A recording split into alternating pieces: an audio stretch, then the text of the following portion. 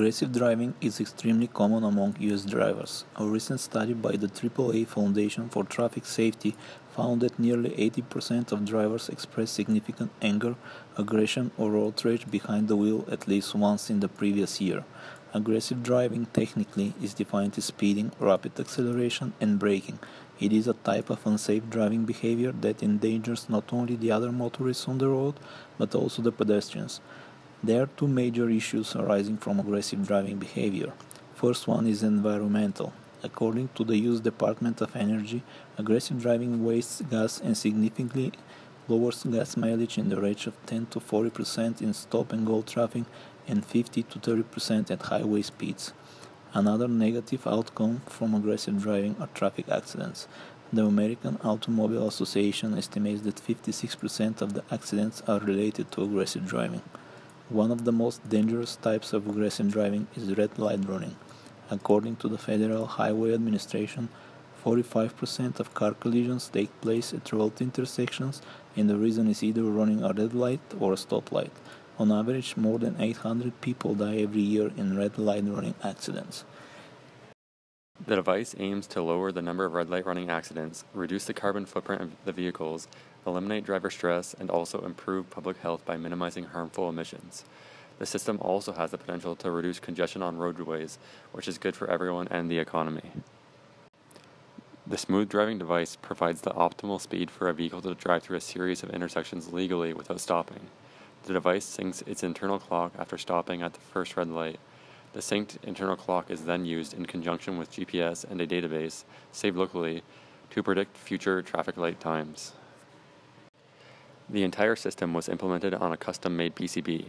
The Atmega 328P microcontroller was used in conjunction with a custom-made circuit for powering the microcontroller and communicating with the per peripheral components.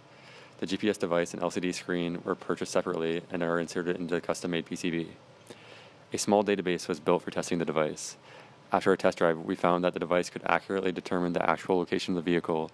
The algorithm can accurately determine the next intersection based on the change of coordinates and the device could display an accurate speed that allowed us to pass through an intersection on a green light. The device could operate solely on batteries with a rechargeable circuit.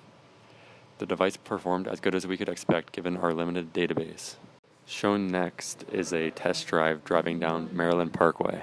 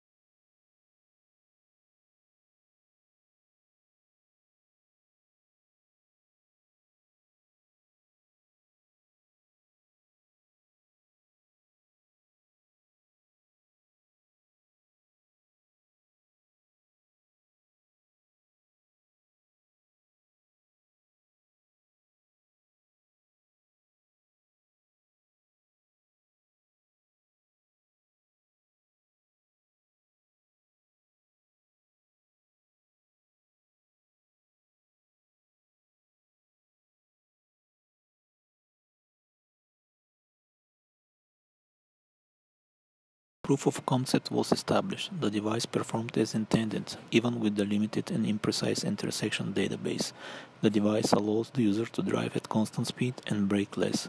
The device has a lot of potential. Support from the local transportation authorities, such as extensive database of traffic lights and green light duration, will greatly improve the accuracy of the device. There are two possible ways of development dedicated device as designed or the algorithm can be applied in existing devices and services as GPSs, both dedicated devices as Magellan or mobile phone applications like Google Maps. Another alternative is to be implemented as part of the vehicle's embedded system. Future development as dedicated device include improved database quality, more traffic lights included, more in-depth stoplight times, add internet connectivity, potentially receive street light times in real time automatic database updates, crowdsourced data.